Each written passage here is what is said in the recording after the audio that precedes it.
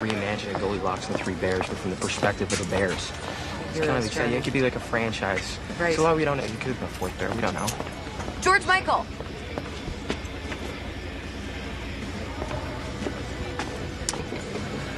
Hello?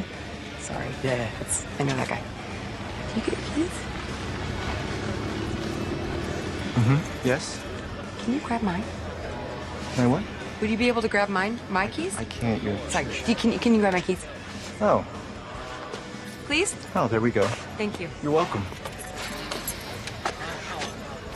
What kind? It's a Prius? I mean, that, that doesn't help me. With a green ribbon? All right.